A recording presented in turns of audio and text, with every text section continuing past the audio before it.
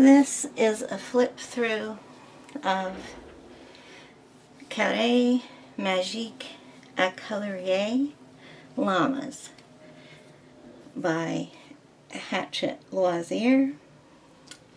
So that means that this is magic squares to color and the theme is llamas. Hachette Loisirs is stands for Hachette Hobbies. Pixel Llamas, illustrated by Christophe Alexis Perez. This is a square book and is a French one.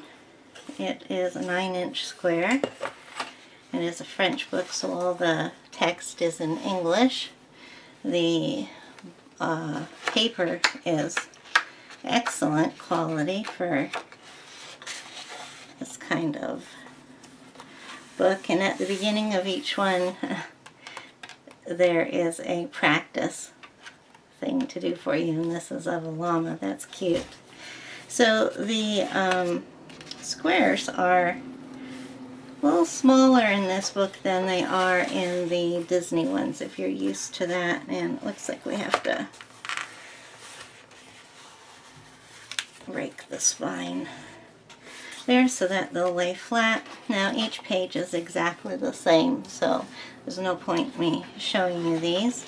They're uh, color by numbers and color palettes up at the top of the page and at the back of the book, oh, I should say the color palette is different as well per page.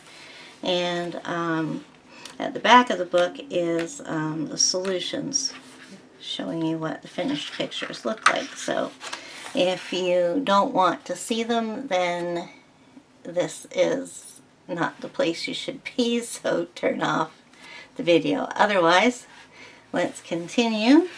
And these are the finished pages. And um, what I like about this is that there are so many different kinds of pictures here. Like there are pixel pixelated ones. Um, this is like wallpaper there. Um, we have some more realistic looking ones here. We have, I mean, it's just, every one is a different little, is a different type of um, graphic. Um, some of them have words on them and uh, they're about half in English and half in French. If you don't want the French lettering on, it's easy, or any of the wording on them, it's easy enough to just omit them. And like here, this is this is adorable. There's an 80s llama. A couple of rainbow ones.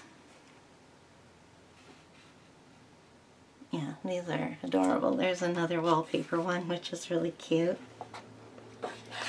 And uh, yeah, we get another realistic looking one here. Those are adorable. I love this. So there are uh, two of the books that are out that uh, do not belong to the Disney series. And this is one of them. And that's the end of this flip.